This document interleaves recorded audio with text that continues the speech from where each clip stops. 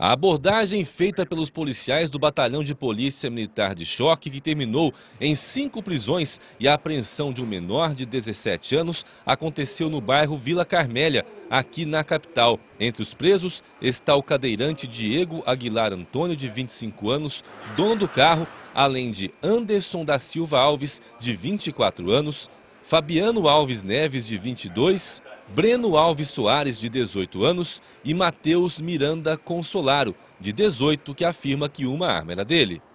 Uma é minha, senhor. Qual que é a sua? Schmidt.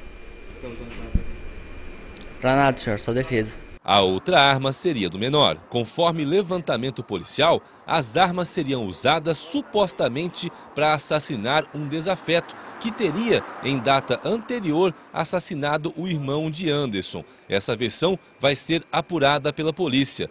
Não sei, senhor, não sabia que tinha arma. Não sabia se tá usando um rolê aí? tomando- Ah, eu tava andando com o Diego, que levei ele pra... Não, senhor, nenhum. É, usuário? Não.